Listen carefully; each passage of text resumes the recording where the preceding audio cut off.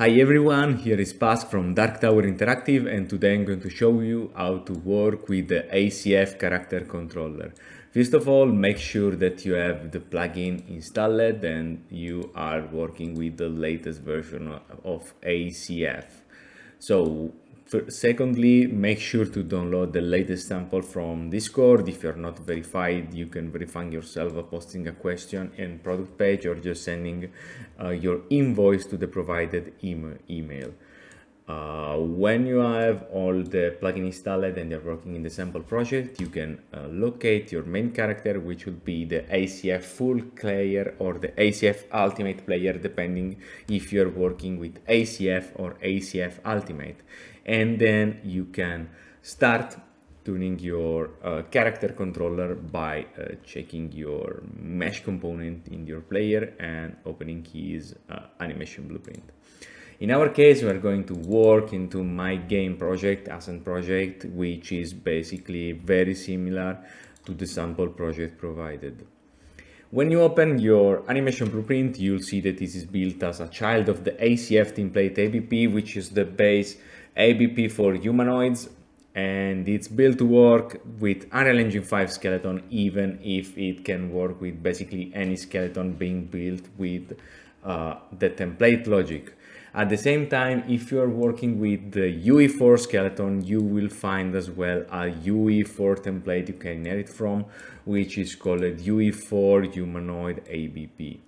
So now let's get started. First of all, let's locate the ACF tab into the defaults and in preview edit defaults. And here we can see how the animation blueprint is built.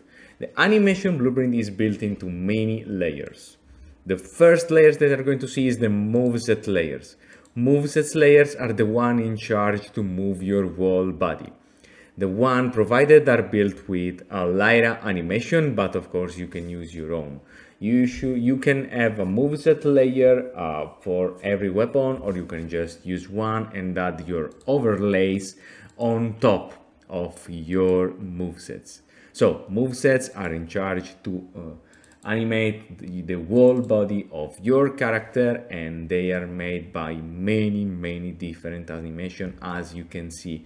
You basically have animation for everything. It could be needed in any situation like walking crouching yogging you starts stops pivots leaning and idles and whatever. And of course turning places you can, of course, when you change a weapon, you can, of course, change the whole movesets and providing new animation for every state, or you can simply uh, modify, oh, what is it now? Modify the overlay, as we can see here, we can, which are just new layers, new anim blueprints built to basically uh, be blended on top of our movesets to modify only the upper body part of our character. In this case, we have overlays for single and sword, overlays for bow, and of course we can create as many as we want and place them here and anyone identified with a gameplay tag.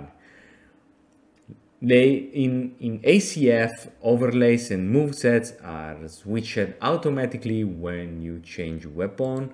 To see that, let's try to open a weapon and for instance our uh, right hand sword no was the names are dagger sword okay here we have ap dagger r for instance. And here in the item we can locate the desired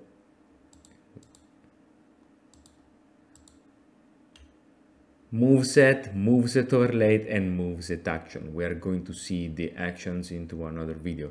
So basically, to every mm, to every weapon, we can assign the desired moveset and the desired moveset overlays, which are the one that are going to be activated in our animation blueprint right here.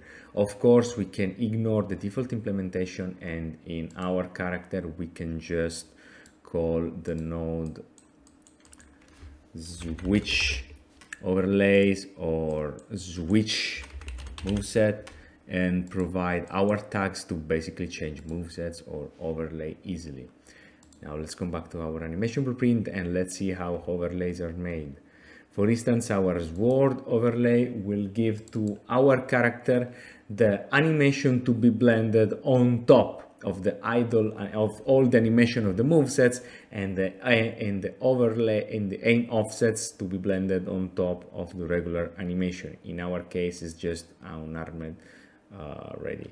In our case we are also using as a idle animation the one from the protector which provide us a cool pose to hold our weapons and our shield also so let's see how it performs actually during the game. And of course, we are also using another overlay, for instance, for uh, bow. As we can see here, we are going to blend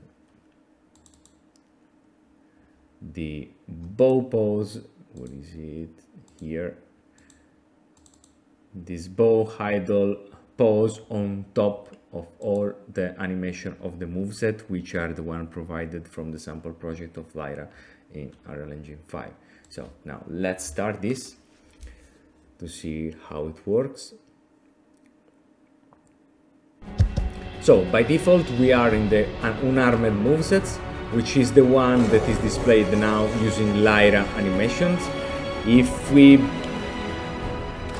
ship. Our weapons we are using the unarmed moveset in the bottom part and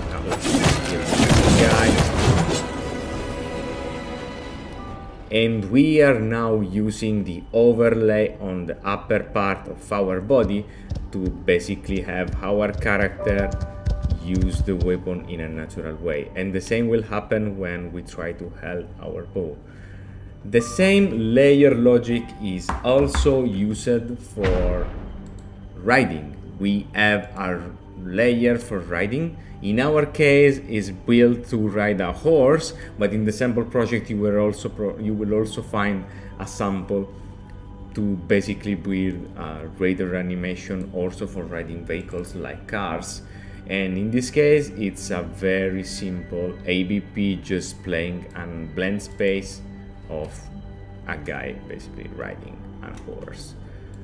And let's see when we ride a horse automatically the rider layer is the one that will be used. And of course the overlays will be always blended on top of it to create complex movement like the one you can see here like aiming with a bow on top of basically any kind of mount you can imagine and any kind of vehicle without writing a single line of code.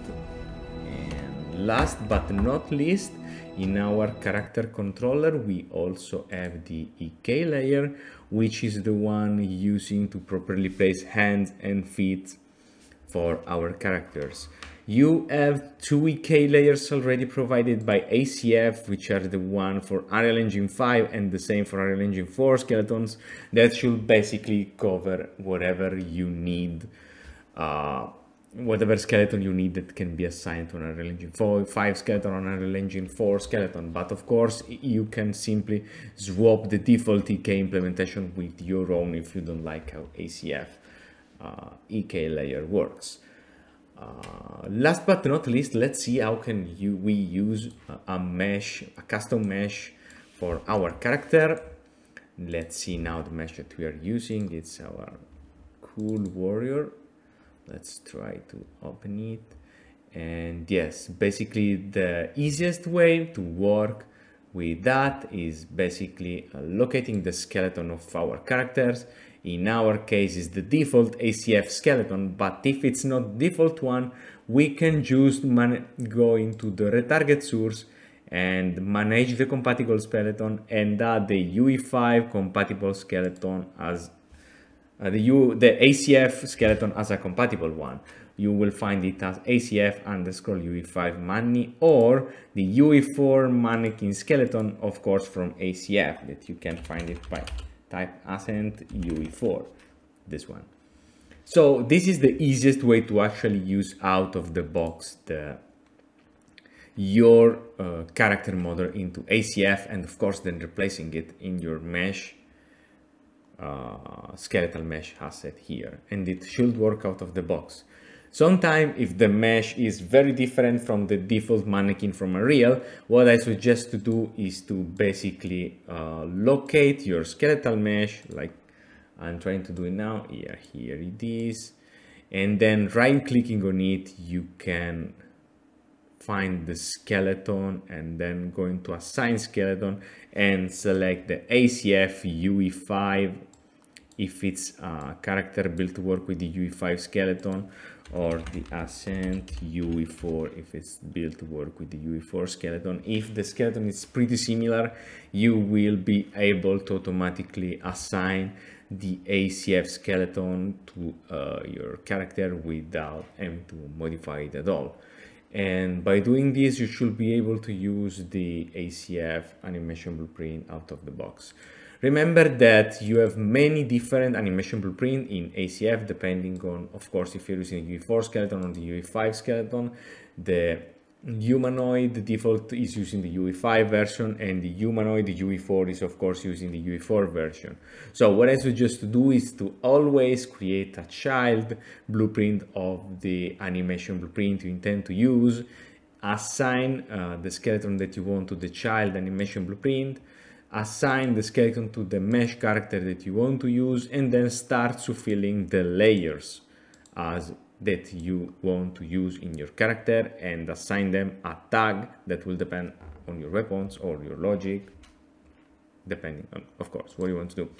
Then if you want to build your own movesets or your own overlay or your own uh, rider layer what you have to do is uh, let's try to use as an example the unarmed bubble movement or the no let's use the single-handed sword overlay which is easier locate from ACF the root class used by all the layers.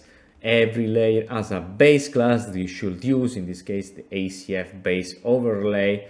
If we check the move sets, we, uh, we will have, where are those here? If we check the move sets, they will have the ACF base movesets and we can create a child class of the base one, assign our skeleton. Please remember that all the base classes will to be template, so you can assign your own skeleton if you don't want to use the ACF one or just assign the ACF one. And you can start filling your um, your movesets or overlays with your own animations. And that's it. So thank you for watching and see you into the next tutorial.